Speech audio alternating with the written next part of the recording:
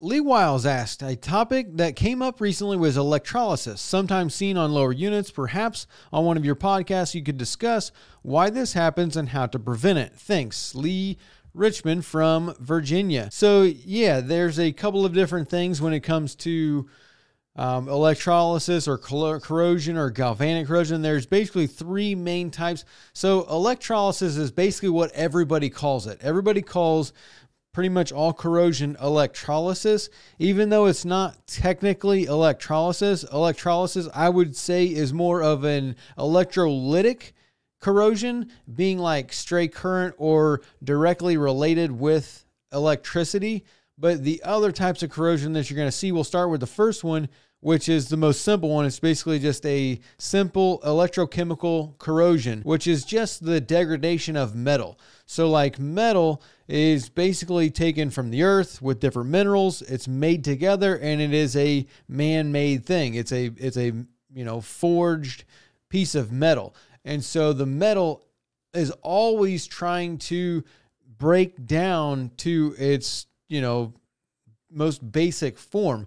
That's why all of it rusts and all of it, you know, falls apart over time. It's kind of why everything, you know, people have such an issue with outboards and calling them trash and junk and crap and all this other stuff, which I actually was surprised. I'm going to do this in a podcast. How many comments we've seen about people complaining about how bad outboards are. So we'll go ahead and do that later. But for this one, that is the problem is it's metal and metal breaks down and it's just kind of what it is. So simple electrochemical, you know, corrosion is just that. It is the metal trying to break down. It's actually pretty easy to stop this because most of the time in order to stop it is just, you know, paint, clear coat and protecting it, the metal. So if you keep the metal lubed, like oil, grease, stuff like that, and then also um, like on lower units where you're seeing it is where there's a, a chip in the paint or a scratch or something like that. So now that bare metal is, you know, touching the outside air and it's the outside air that creates this oxidization and that oxidization is what then excels the degradation of the metal or the depleting or the rusting or whatever you want to call it. That's kind of the issue. The next most common type is galvanic corrosion. And galvanic corrosion is separate in the fact that galvanic is um, basically when you have two dissimilar metals. So if you have stainless steel and aluminum, being a stainless steel bolt holding on an aluminum lower unit to your engine, that is a dissimilar metal. And, you know, when you put those bolts in, it scratches the paint. So now you've got aluminum and stainless steel touching together.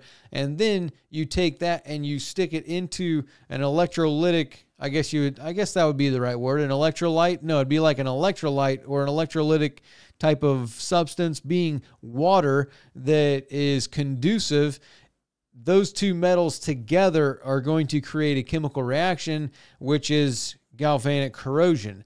And that one, in order to combat that, what you need is anodes. So the proper protection based on your anodes is what's going to help to neutralize that as much as possible.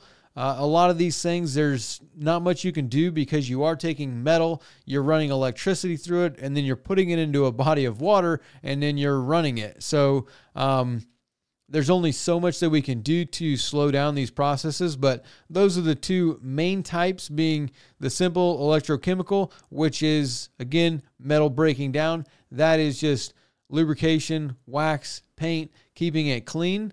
And then galvanic, which is dissimilar metals touching, and that is in, in order to combat that is their proper anodes and just making sure that everything is as good as it can be as far as paint. Same thing, paint, lubrication, grease, stuff like that. Talking about like stainless steel, like stainless, a lot of people think is stainless. It's not, you know, stain perfect. It's it, it's going to rust, and especially like 316 or 304, what is mainly used in the marine industry because it's not pure stainless steel. It has other metal built into it, which is what gives it its strength. If it was just pure stainless, then it would not have the same strength as it does with the other metals built into it. So that's kind of another issue.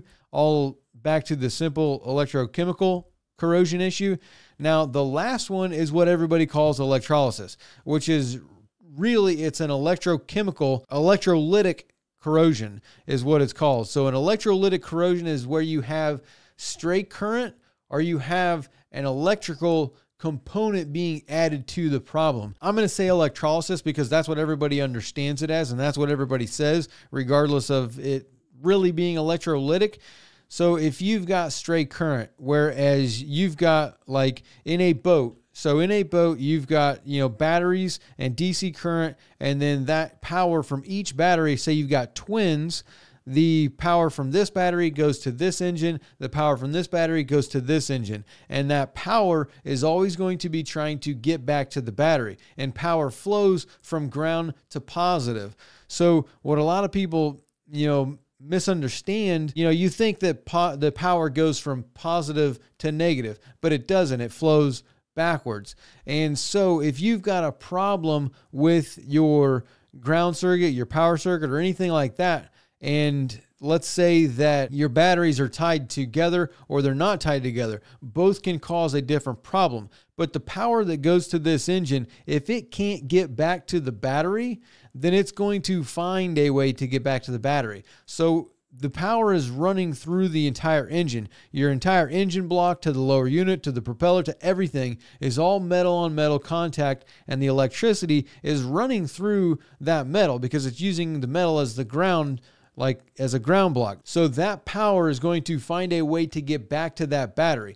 It will actually leave the metal of the engine and flow through the water to the other engine if it needs to to get back to the battery. And it will do that th- through other ways too like uh, most boats have a bonding circuit built into them and the bonding circuit is a different type of grounding circuit that connects all the metal components that are going to the water. So like your through hulls your drains um, brackets engine bolts, like all that different stuff is going to have a bonding wire on it. So that way, if you do have stray current and you do have a problem with that, then that bonding circuit is going to connect all these items together to help spread that load so it doesn't just attack one item and cause a big problem. But if the power can't get from this engine back to the battery, then it's going to find a way, whether that be through, you know, one of the through hull fittings or through the other engine or whatever. And one of the problems with this is you can actually make an electro it can it can make a difference where it will take particles from this metal and go over to here and the particles from this metal will get left on the other metal. That's why you'll see different discolorations in the metal. Um, you'll see different kind of like coatings, I guess you would say. Like you can have a brown coating, you could have a black coating, you could have a um, rainbow looking coating based on the different problem that you have of the stray current, whether that be from AC or a boat problem or, um, you know, another boat next to you has a problem, like whatever the problem may be, every different scenario could have a different outcome based on your specific problem. And that coating is actually particles or electrons or, um, yeah, let's call it particles from the other metal. So, like we did it on a video the about props and this kind of similar issue. And if you take a battery and you take a penny and a quarter and you put the penny to the ground on the battery and you take the quarter and you put it to the positive, if you put them in water, it will actually connect that circuit and take the copper coating off of the penny and put it onto the quarter. And the quarter will then turn to that same bronze, copper, color that was on the penny. That's the medical, that's the metal from the penny being left on it. It's a coating, it's an electro, you know, it's an electro, I'm not sure what the exact term would be. It's an electrical coating.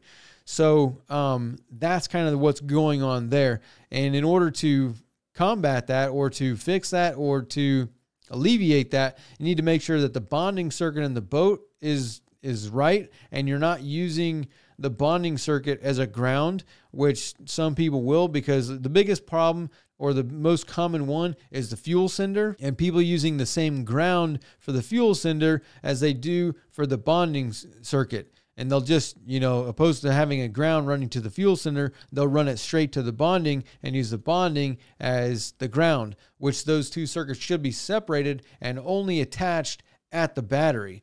So making sure that those two are separated and then also making sure there's no stray current and making sure that your anodes on the engines are all in good condition. Anodes get overlooked a lot of times because people don't really think about it, or maybe they don't understand exactly what those anodes are doing. And those anodes are helping to combat this corrosion issue of galvanic and simple electrical, electrochemical and electrolytic corrosion. So those anodes are very important. And there's the right amount of anodes on the engine. There's a reason why there's, you know, two on the lower unit, one on the anti ventilation plate, one on the bracket, two or three on the bracket of the power tilt and trim unit. There's that many for a reason because they're a specific size and they're a specific weight and they're like it is chemically manufactured in a way that it balances out the water and it balances out the I'm not, I can't think of the word what it would be, but it balances everything out. So for the amount of metal being the lower unit and the trim unit and all that stuff that's in the water, those anodes balance out that um, ratio. So the you know, it's basically neutral.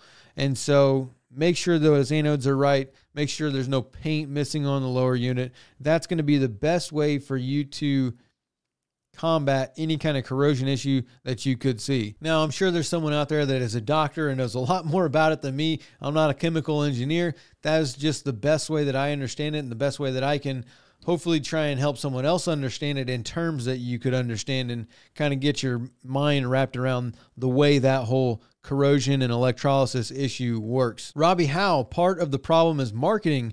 We are made to feel like these boats, even modest sized boats, have to be going 50 miles per hour at wide open throttle. Just a few decades ago, nobody would have even thought of a 600 horsepower outboard. 25 foot boats were being pushed with 200 horsepower outboards, and nobody had two engines on a boat. A 20 foot boat with a 150 horsepower was a lot of boat. We're wanting too much these days. That's talking about running full throttle and reliable versus unreliable and just what the market looks like as far as what people want. And yeah, I think that a lot of us has, have become spoiled in the ability to do 60, 65, 70, 75 miles an hour on the water. I mean, like, that's that is insane. Though I get it, um, I mean, who doesn't want to go faster? But granted, yeah, most of us grew up doing 30, 35, 40, and like that is that is plenty. Um, yeah, now you've got 600, 450, 500 horsepower outboards, and everybody wants to do 65. So it's like the boat brands are now thinking that 50, 60 is like you have to have that.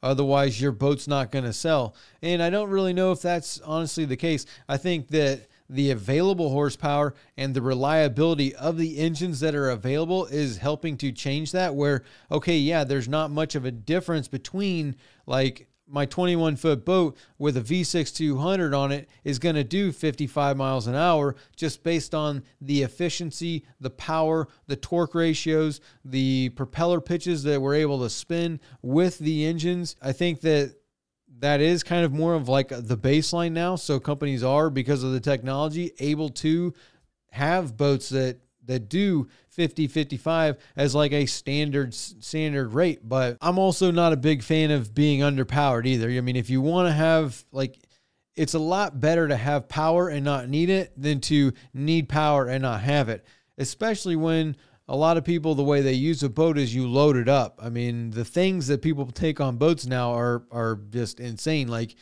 you know the the days of just having two people one little cooler and four rods on the boat like that's not how people use boats anymore. Now people want to have eight people on the boat with six different coolers, both of the fish boxes packed out with ice 12 15 different rods all your baits all your all your tackle everything like staying on the boat so there is a lot more weight on the boat and so you, now you kind of need that extra horsepower opposed to being able to get away with you know having a 90 horse or a 115 on a 20 foot 21 foot boat um, because of how packed it is, you you know, now you're only doing 25. You've got you've actually got functional problems with the boat when it's underpowered where the boat's not getting on plane. If you can't even get the boat on plane, that's a functionality problem, not necessarily just a desire problem. But yeah, I think I still think 3540 is is fine for the most part for most of us to get somewhere. If you can do 30, 35 miles an hour, I mean like that's that's that's pretty good. Like I, I mean if you're in that much of a hurry and you need that much time, then like that's a whole nother deal. So Jim's asks any thoughts on Parsun two cycles. I have an older boat that I would like to remotor. Boat came with a Johnson 85 horsepower. I understand a four cycle will be too heavy unless I drop horsepower. Yeah, that's kind of the issue with two stroke to four stroke, and then and the conversion there is the weight to horsepower ratio is still a problem when you get down to these 85, you know, anywhere from 40 to 115. That's kind of that range of like, you know, going from a 2 3 cylinder to a 4 cylinder. And you know it's a it's a 100 150 200 pounds in some instances which is a lot which is a big difference when you're talking about repowering a boat. I don't know much about parsuns um, i think it's a chinese brand. I'm not 100% sure uh, I didn't really know that you could even buy a two stroke in the United States anymore, but I guess you can. Uh, so that's kind of news to me. I do know I have seen Parsun, they make an electric outboard. So I've only seen that cycle. I didn't realize they made four strokes and two strokes. So no, I don't really have any experience or any um, kind of detailed information that I could give other than opinion and what I read. So I don't know too much about them, but yeah, I would definitely going back to the being underpowered discussion. I would not want to drop horsepower just to go to the four stroke. So yeah, one of your one of your problems there is the weight of that 85 is that 85 is a four cylinder. And so you've got a lot of power with that 85 and if you go to like a 60 or a 75 and you go down to like a three cylinder um, you're going to lose a lot of a lot of um, the way you know functionality to that boat. You're going to lose a lot of performance just simply going from the from the four cylinder two stroke to a say a three cylinder four stroke. I I feel for you. That's kind of a problem. So I don't I don't know. I would definitely be looking into different options. The Parsun two cycles. Don't know anything about them. I mean, if you can get it, then um, your weight to horsepower ratio is probably going to be very similar. Two strokes, it's it's a two stroke engine, so there can't be too much about it. I mean, two stroke technology is, um, you know, I hope they don't screw that up. As far as if it's just a plain Jane two cycle engine, that would be it might be your best bet. I don't know what their price is either, so maybe even the price might even go into there. JD says just go to a state that has winters and buy a good running boat for cheap during the winter. We just talked about this uh, on a couple podcasts ago being of a good place to find a cheap boat and 100% i mean if you can look like we were talking about being on craigslist or facebook but yeah if you can find something in a winter state like if you go up north and you look for um, a deal during the winter a lot of times there are people that have a boat that you know, is put away for storage for the winter and they don't really use it that much and they need to sell the boat. It's a hard time to sell a boat in the middle of January when you live in Minnesota or you live in, you know, Ohio or New York or you know any of these other northern places illinois indiana any of that stuff if you live in michigan and you're trying to sell a boat in the middle of january you've got limited buyers because it's snowing outside it's freezing cold people aren't buying boats so hundred percent, you you might be able to find a really good deal if you go to one of these locations to try and find a boat because there's no other buyers up. No one else is buying boats. So if you know you're the only buyer, then and they have to sell the boat, it's the same old saying is that something is only worth as much as you can get someone to pay for it when you need to sell it. So if you need to sell the boat in the middle of January, in the middle of winter, and there's no one else buying it, um, that kind of uh, is an issue and unfortunate for the seller, but for you as a buyer, that's where you find a deal. That's where you can make a come up and That is a very good comment. Captain Dave Sport Fishing. I can tell you for a fact I used the flush port on a 250 Suzuki for four years and my fuel cooler clogged up. It never got flushed by using the flush port. I couldn't figure out what was wrong, and a Yamaha Merc mechanic told me to check the fuel cooler, and he was right. It was full of dirt, mud, salt from the St. Johns River, Jacksonville. I have many videos about the issue on my own channel, boat maintenance playlist. I would never ever advise anybody to use those flushing ports. I mean, we're going to differ on that one because I definitely do suggest the the flushing ports, but 100% running the St. John's that is brackish, dirty water. I mean, like you're running in all kinds of issues with dirt, mud, and and all kinds of other things. Yeah, that sucks that it's clogged up the fuel cooler. Um, and for whatever reason that flush port was not flushing that fuel cooler. I know i have seen him. He likes to put it in a um, tub and run it in the in the in the can which is i mean if you if you want the best way and the most efficient way to flush your outboard then that's the way it's going to be. You're going to put it into a can full of water and even probably throw in some flush uh, or some Salt-Away in there as well. And that's going to be the most proficient way that you can flush an outboard. So definitely if you want to learn how to do that you can check out his channel you know i'm still a fan of the flush port though so we do differ on that aspect but nonetheless it did have a problem for him in a suzuki where the flush port was not flushing the fuel cooler so that's an issue Dr. Ed, you need to talk more about inboards. All my friends here in Florida use them more than outboards because we have larger and faster boats.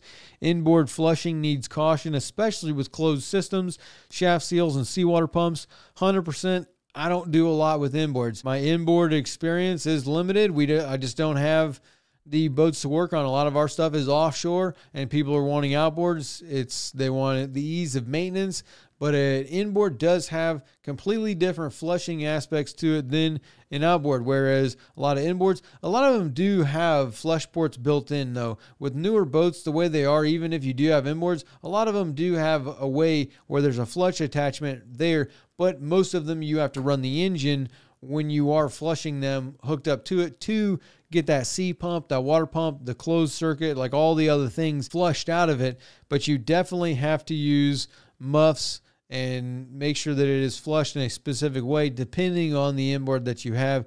It is much different from an outboard, especially in northern climates whenever you're dealing with freezing temperatures like an outboard so much easier. You just tilt it down and all the water leaks out. You don't have to worry about things freezing. And inboard when you flush it you have to drain everything because it could freeze crack your block be a problem. So yeah we'd love to bring more inboard content. We just don't see a lot of them. I would like to do a wakeboard or a ski boat here in the upcoming future. Maybe this year we'll get onto that. So that would be some inboard um, content. But as of right now, nothing's on the books for any inboard. Sorry about that. Rich, great discussion. Yamaha F 115, right up there with F 150 reliability, 100%.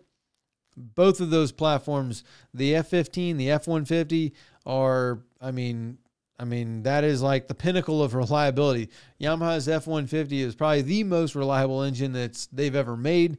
Uh, super fan you're right with the F 115, same thing. It's very similar. It is super reliable, uh, super robust, super rigid, rigid. Like it'll take abuse. Phenomenal engine, phenomenal platform.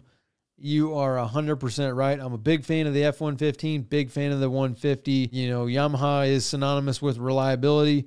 That's probably something that I do need to make a video on. Probably incorporate that, how most brands have something that they're known for uh, they become synonymous with with their name. And Yamaha is reliable. If you say Yamaha outboard, most people are going to say reliable. John Coleman, what is your opinion on the first run of Sea Pro boats?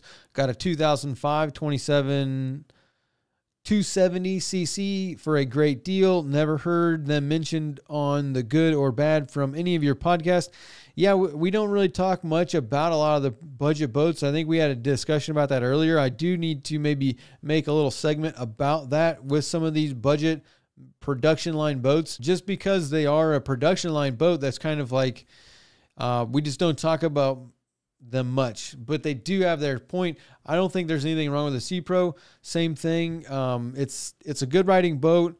There's not much to it. It's it's got a fair price on it. the engine package that you can get with them, that's more of my concern with most boats is what's the engine on it and what's the power ratio based on the weight of the boat. And then the rest of it you can deck out however you want between the electronics and the stereo and the lights and all that stuff.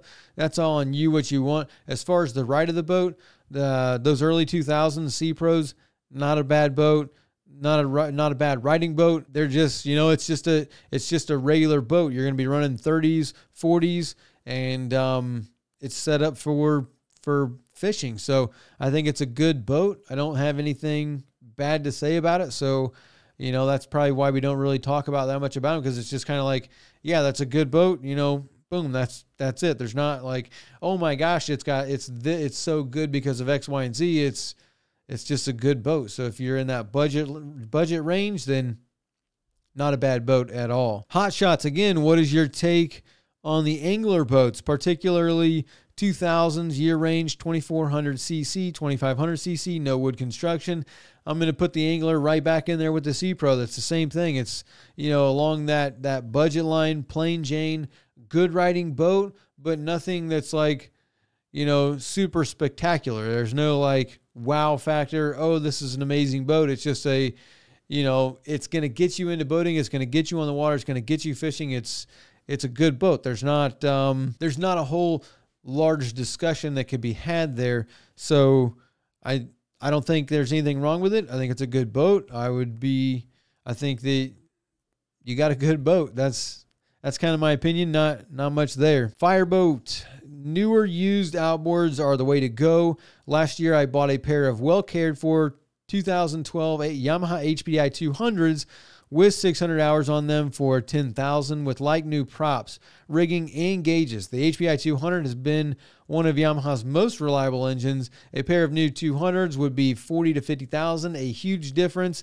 I don't know if I would call them the most reliable, but like I said, for me, the F150 is the most reliable engine that they ever made, even though the 4.2 and these larger ones super reliable. Not to say that the 3.3, the 225, 250, any of those were unreliable. They are reliable. I'm just saying, you know, I think the F 150 was the best. Nothing wrong with the in, the others, but 200, huge fan of the um, 200 HPDI. 100% I'm with you on there. We just had someone else that had a major catastrophic problem with his HPDI, but I think he had the 225 or 250 somewhere. He had the large one, not the 150 200, which was the smaller one, which the 150 200 was way more reliable than the 250 300 was.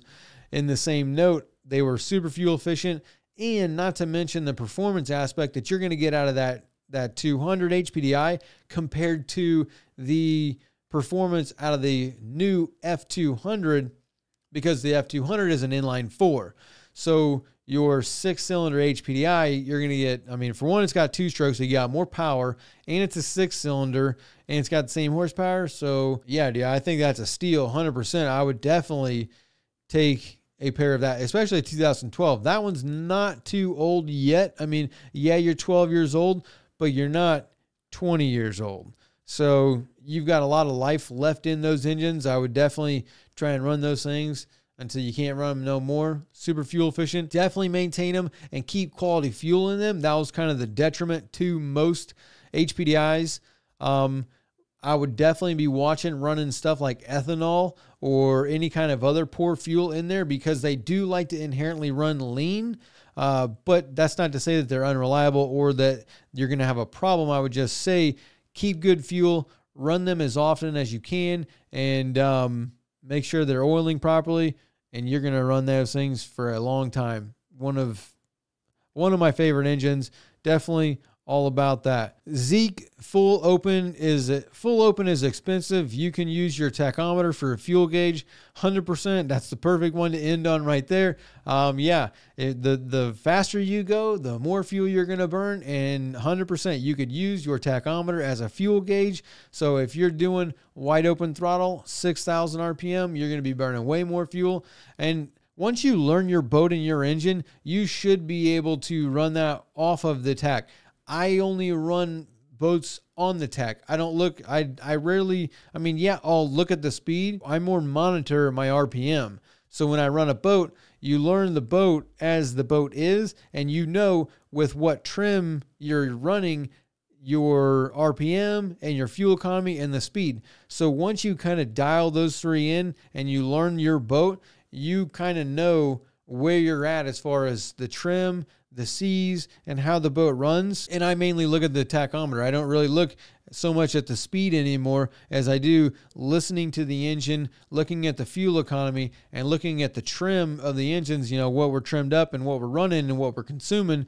And that's kind of how I run a boat. I don't necessarily look at the speed and say, oh, I want to do 45 miles an hour no matter what. For me, it's more of what are the sea conditions and the if you're running into the wind or you're running into the current or you're running upstream learning the trim learning the fuel burn and learning the rpm of your engine is going to allow you to actually make the engine run a lot longer if you learn how how it likes to run. Most engine I try and run in the 4000 RPM range, anywhere from 35 to 47 maybe. That's like I would say is most engines cruising speed, maybe 38 to 48 somewhere in there around the 4000 4500. That's most engine boat package cruising speed when you're underpowered and you've got a lot of weight in the boat, then cruising speeds end up being in the 5,000, 5,500 RPM range. But by and large, I would say that you want to be, you know, learn your boat is what I guess what I would try and say is to learn your boat, learn what the tach is, learn what the RPM is, learn what your fuel burn is, learn how to trim it uh, based on the engine height. Hopefully, yeah, your engines are mounted at the right height, then you can get some trim in there to get some lift on the back of the boat to get more of the boat out of the water and get on top of the water. And that's going to give you the best experience, the best fuel economy, and make your engines last the longest. So for this week, we'll go ahead and shut it down. If you want to talk about something, drop it in the comments below. Email us at askbab at bornagainboating.com. Check out our boaters program. It helps support us at bornagainboating.com, and we will see you next week.